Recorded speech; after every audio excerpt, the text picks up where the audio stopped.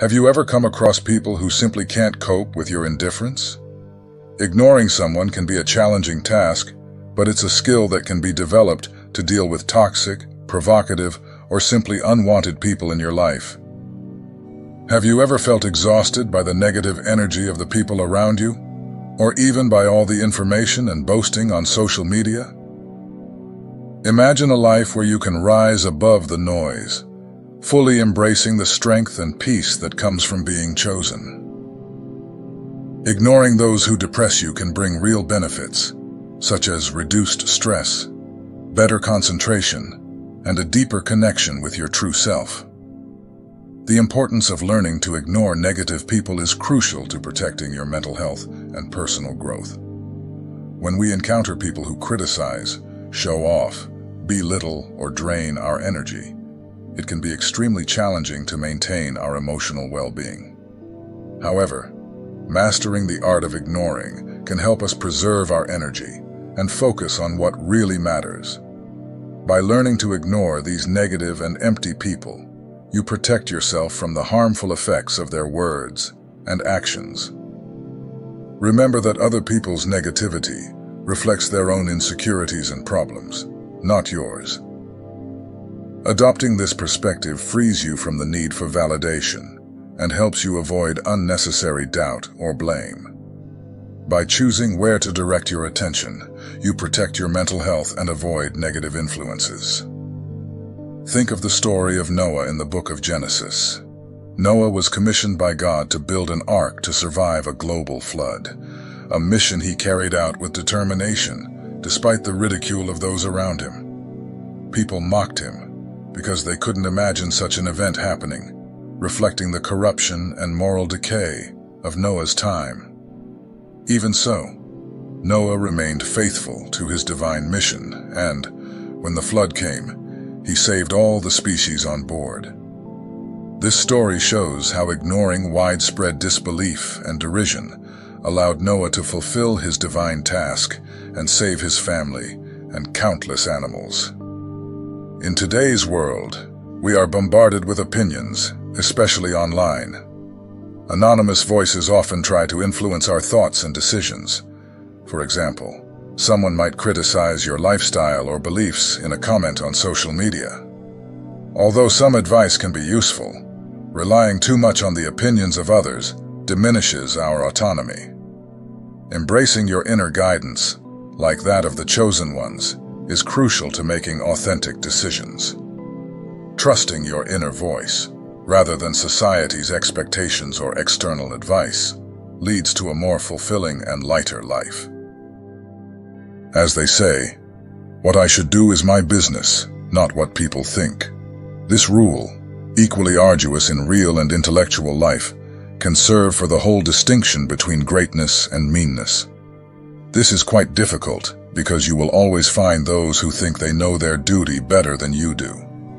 By ignoring negativity, you can focus on what really matters. It means spending less time worrying about other people's judgments and more time pursuing your goals. Imagine not feeling stressed by negative comments and instead using that energy to work on your personal projects or spend quality time with your loved ones. Embracing this mindset helps you reclaim your power and walk with confidence in your divine purpose, feeling more at peace and in control of your life. As chosen ones, you may often encounter people with controlling personalities who invade your space, believing they know what's best for you. These individuals can be ruthless, offering unsolicited advice and insisting that your way is the only right way. Their constant interference can be exhausting and sap your energy, making it difficult to focus on your own path. What's more, you may face people who are perpetually dramatic, always convinced that their problems are more important or that their illnesses are more serious than anyone else's. These individuals tend to create a cloud over your life. These individuals tend to create a cloud of negativity, diverting attention away from productive and positive activities. Their constant need for validation and sympathy can drain your emotional resources, making you feel depleted and overwhelmed. Then there are the pessimists and defeatists, who are always in a bad mood and rarely express gratitude. These people can cast a shadow over even the brightest days, always finding something to complain about, or a reason why things won't work out. Their negative outlook can be contagious, potentially leading you into a similar state of despair if you're not careful. So how do you deal with it? As chosen, maintaining emotional distance is essential. This doesn't mean ignoring what the person is saying, but rather using a filter so that any criticism or advice doesn't affect you directly. An effective way to achieve this is to listen to what they have to say and then mentally reconstruct their statements in a positive way. You can do this internally or, depending on the situation, you can even externalize it to the negative person in question, showing yourself that the message can be conveyed in a lighter and more constructive way. For example, if someone makes a harsh criticism, rephrase it internally, focusing on any useful feedback and discarding the negativity. This helps you protect your emotional well-being and stay centered on your purpose. This technique allows you to engage with other people without being dragged down by their negativity, ensuring that you remain aligned with your divine mission and inner peace if the intrusion becomes overwhelming. It may also be wise to avoid sharing your dreams and future plans with these people. Negative people often seek out generous and supportive individuals as their chosen ones, who then become their punching bags through constant criticism and intrusive advice.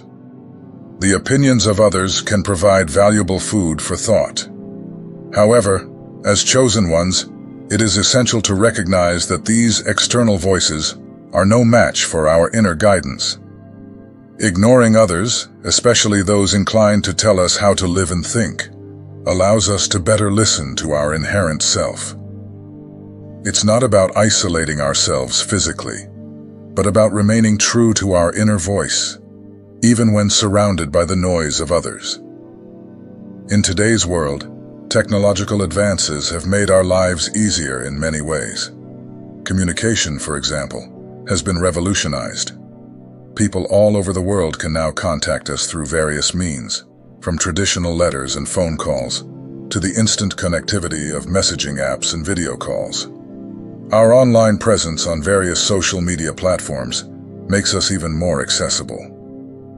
While our interactions were once limited to those around us physically, the digital age has brought the whole world to our doorstep, constantly knocking for our attention. The smartphone has become an extension of the human body, providing an inexhaustible source of stimuli. Day and night, this device bombards us with messages and notifications, giving us access to unlimited information in seconds. For many, this unprecedented and abnormal amount of human noise has disturbed their inner peace. Numerous studies suggest that social media use contributes to psychological problems. A study published by the U.S. National Library of Medicine shows that excessive use of social media is currently the second leading cause of psychological impairment.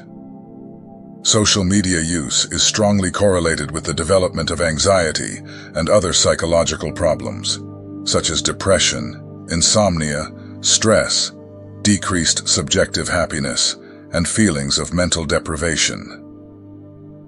This study highlights how immersion in social media can damage our mental health, which is not surprising given the excessive stimuli, the constant competition for attention, and the impact on self-esteem.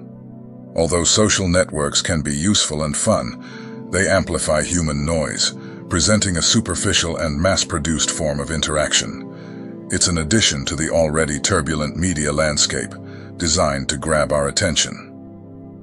As chosen ones, ignoring this chatter by disconnecting from our smartphones and televisions can help us regain our inner peace. Imagine the dramatic reduction in stimuli and the silence that arises when we silence the thousands of voices that normally clamor for our attention. In doing so, we stop being controlled by technology and become like wise souls, sitting quietly by a river, in tune with our true selves and the divine guidance within us. Of course, we don't have to be extremely radical about this. Balance is key. It's important to find a middle ground, where we can still enjoy the benefits of technology without allowing it to dominate our lives. Taking the time to disconnect allows us to focus on what really matters and nourishes our spirit. While it's crucial to take breaks and live mindfully, it's equally important to stay informed and inspired. Watching content that aligns with your values and supports your journey as a chosen one can be beneficial. So feel free to take advantage of the valuable insights and guidance offered on this channel. But also remember to take breaks to live fully and connect with the world around you. As a chosen one, you often encounter people who try to bring you down with insults and unconstructive criticism with the main aim of discouraging you. Initially, it may seem oppressive, but over time, you learn to ignore these negative influences and accept that visibility often attracts negativity. We are affected by insults and negative opinions because we worry about what others think of us. This preoccupation with the opinion of others, with our reputation in their eyes, and with the desire to be liked, seems to be a natural and learned behavior. The challenge with this desire to be liked by everyone is that we have no control over who will like us or not. Haters will hate, and there's nothing we can do about it. We can get angry, argue, or try to change them. But often the wisest course of action is to ignore them. Ignoring people requires less energy, costs less attention, and avoids being drawn into exhausting and pointless arguments. Most opponents don't want to change. They just want attention. Understand that each person has their own beliefs, perspectives, and ways of acting, and these characteristics are deeply rooted. Change can be a slow and complex process, requiring willingness and personal effort. Instead of waiting for people to change, it's more productive to manage your own expectations and focus on your responses. By doing so, you can achieve more realistic and positive results in your challenging interactions. It's important to remember that ignoring people doesn't mean being rude or counterproductive. On the contrary, it's a powerful tool for preserving your mental health. By directing your attention away from negativity, you consciously protect your emotional well-being. Imagine visiting a busy market in these places, some people tend to behave rudely, push you around and use abusive language. If we go there expecting this behavior and try to stay calm, we'll realize that achieving this goal means not letting these actions bother us. Similarly, having an online presence, such as a YouTube channel, naturally exposes you to trolling and criticism. It's part of the territory when you put yourself on the internet. Therefore, Welcoming these people as part of the job builds resilience. After a while, nasty comments appear like flies passing by on a summer's day, a little annoying at best, and unworthy of getting angry about. By adopting this mindset, you can stay focused on your divine purpose, unaffected by the negativity that tries to bring you down. Consider the daily interactions we have in real life. Perhaps a coworker constantly undermines your ideas, or a family member always finds something negative to say about your achievements. These are the daily detractors we encounter offline. As with online criticism, the best approach is usually to let the comments go unnoticed. Engaging with them can drain your energy and distract you from your goals. Think of driving in traffic. There will always be aggressive drivers who cut you off or honk impatiently. Responding to their aggression can aggravate the situation and ruin your day. Instead, staying calm and focused on driving keeps you safe and stress-free. This same principle applies when dealing with negative people in your life.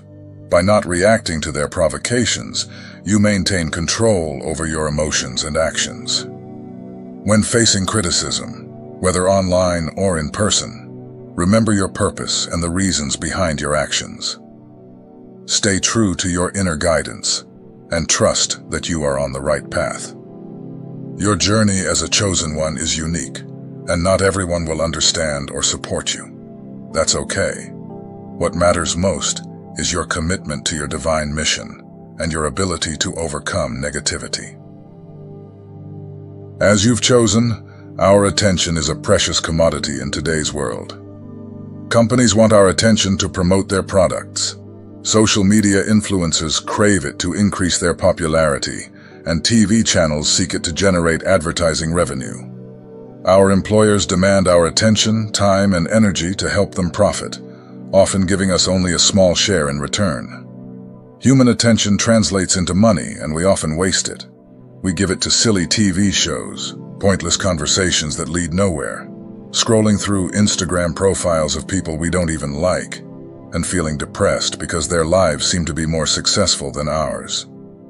The more we devote our attention to others, the less we have to spend on things that really matter to us. What about our dreams and ambitions? What about our creative activities? These things require dedication. They require us to isolate ourselves from others, at least for a while, so that we can give them our full attention. When I started this channel at the beginning of the year, I isolated myself from people online and offline for most of the day. I didn't want anyone interfering with my work, as every interaction could disrupt my focus.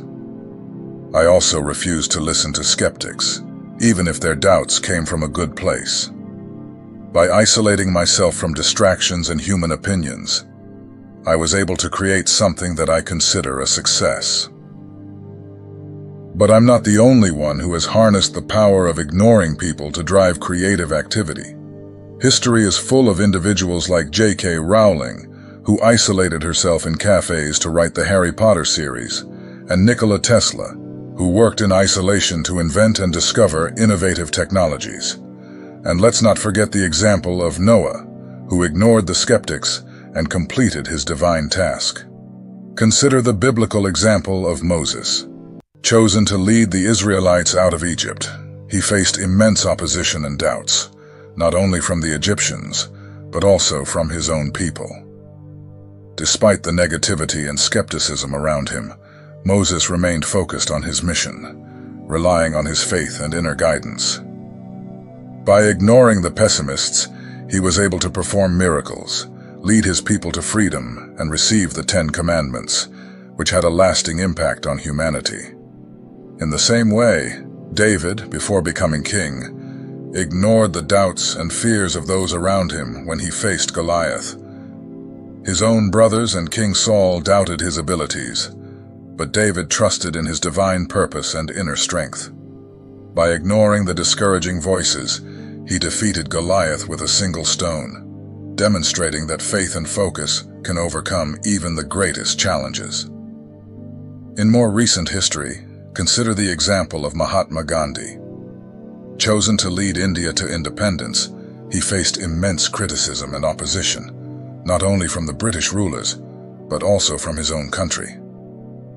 Despite the constant barrage of negativity, Gandhi remained steadfast in his commitment to nonviolence and civil disobedience.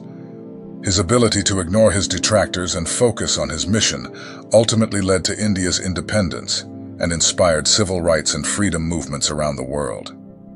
Another historical figure who exemplified this principle was Harriet Tubman.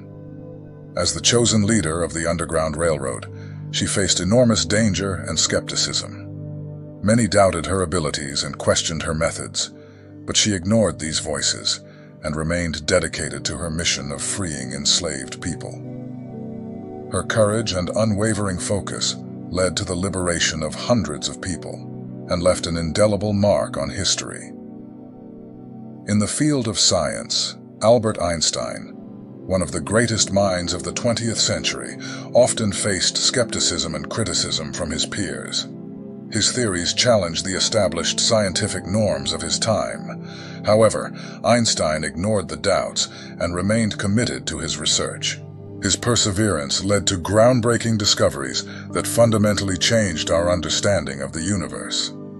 As chosen ones, these examples remind us of the power of focusing on our divine purpose and ignoring the distractions and negativity that come our way.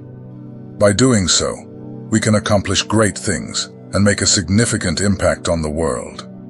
Our attention is valuable, and by protecting it, we ensure that it is spent on activities that align with our higher calling and bring us closer to fulfilling our destiny. As chosen ones, we often come across the superficiality of relationships on social media. You can have thousands of followers and connections, but not even one real friendship. Many people also have several superficial offline relationships, without depth or meaning. They spread their attention too thinly among many, rather than focusing on a select few. This diversification works well for investments, but is it really beneficial for socializing? It depends on what we're looking for.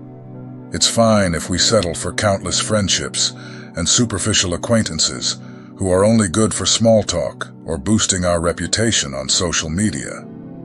Perhaps some even see their spouse only as a trophy or a means of obtaining financial benefits, which may be acceptable with mutual consent. But imagine the loneliness of meeting so many people, calling many of them friends, being married to a trophy spouse, and yet having no genuine confidant in difficult times. Consider the analogy of a philosopher who compared human relationships to hedgehogs. If we get too close, we can enjoy each other's warmth, but also stab each other with our sharp spines. There is truth in this analogy. Close relationships can be very rewarding, but they also bring challenges. If we want to build deeper bonds with people, relationships that involve trust, companionship, tolerance, mutual acceptance, and growth, we must be selective. Building deep connections is almost impossible if we try to befriend everyone. We wouldn't have enough time and attention to devote to these intimate relationships. So what's the solution? Ignoring many allows us to get closer to a few. By choosing to focus our attention on a select group, we can cultivate deeper relationships. These connections are invaluable, providing support, understanding, and companionship that superficial relationships cannot offer. As chosen ones, we should prioritize the quality of our relationships over quantity, ensuring that we surround ourselves with those who really matter and contribute to our spiritual and personal growth. So, my friends, ignoring people may not always seem like the friendliest approach, but as chosen ones, we have the right to be selective about who we communicate with and who we give our attention to. Our attention is precious. The way we use it significantly determines our quality of life and our feelings. Let's not hesitate to turn off our phones, leave emails and text messages unanswered for a while, ignore the influence of social media influences, and essentially choose not to give attention to everyone who demands it. As the saying goes, ignorance is bliss. Sometimes choosing not to engage with certain people or situations can bring us the peace and clarity we need to thrive. Let's embrace the power of selective attention and use it to improve our lives and the lives of those we are meant to touch. Thank you for watching and being part of this journey. Embrace your right to be selective with your attention and find the balance that brings you closer to your true self and your divine purpose. Share your thoughts in the comments below. How do you manage your attention and maintain balance in your life? Have you found peace by ignoring certain negative influences? Let's discuss and support each other on this path. Don't forget to like, comment, and subscribe for more content like this. Until the next video, my